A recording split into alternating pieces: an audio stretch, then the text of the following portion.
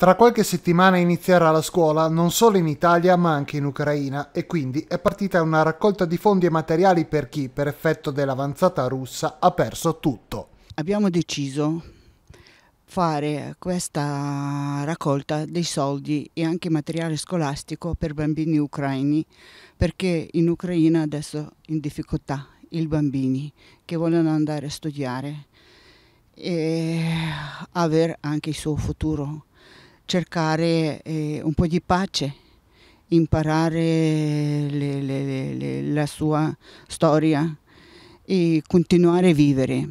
Perciò questo evento eh, sarà 15 di um, agosto a POS di festa di unità perché mi hanno proposto i nostri amici di PD per raccogliere un po' di soldi e materiale per poi mandare per bambini in Ucraina.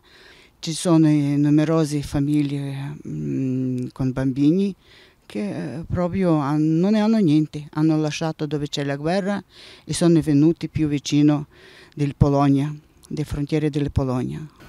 E quindi appunto raccogliete materiali scolastico, soldi e materiale, perché per soldi andiamo subito a comprarlo e mandiamo sti zainetti.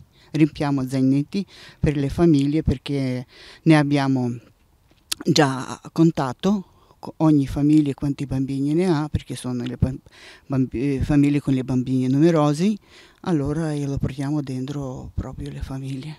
La raccolta si terrà lunedì dalle 11 alle 14, ma ci sono delle possibilità anche per chi non riuscirà ad essere presente può contattare perché eh, c'è mm, il mio numero di telefono, stanno tutti a Ucraina, Associazione Ucraina più di Belluno, allora contattare Ivanna, Ivanka e allora così possiamo risolvere il problema.